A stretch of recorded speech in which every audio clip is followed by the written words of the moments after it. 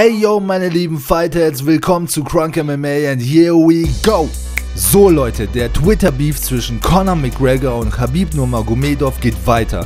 McGregor hat natürlich wieder mal was sehr Bizarres rausgehauen und Nurmagomedov einen ordentlichen Seitenhieb verpasst, indem er folgenden gestörten Schwachsinn schrieb. Ich will seine Kinder essen. Wann hat er sie eigentlich das letzte Mal gesehen? Seine Frau, seine Mutter. Nurmagomedov reagierte während seines Auftritts im Hotboxing Podcast mit Conor McGregor ist böse und schmutzig. Wenn du einer der Besten der Welt bist und kommst und jemanden schlägst, der 70 Jahre alt ist, wie einen alten Mann in einem Pub, dann zeigt es dein Herz. Das zeigt, wer du im Inneren bist, wie schmutzig du bist. Wenn man Eltern und Kinder hat, wie kann man sich dann so zeigen? Ich verstehe nicht, warum seine engsten Vertrauten nicht sagen, hey, was ist hier los?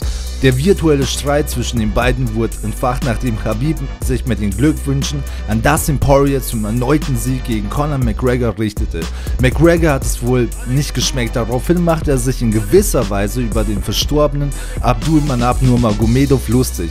Ich finde das Ganze zwischen den beiden einfach nur unnötig. Es ist mehr oder weniger ekelhaft, bringt keinem was und unterhaltend ist auch nicht unbedingt. Auf jeden Fall habe ich das Gefühl, dass der Beef noch länger weitergehen wird. Wie man das noch toppen möchte, weiß ich zwar nicht, aber warten wir es ab. Yo Leute, das war's mit diesem Video. Ballert eure Meinung zu dem Ganzen. Wenn's gefallen hat, lasst ein Abo da, wäre echt nice. Und ein krankes Bye bis zum nächsten Mal.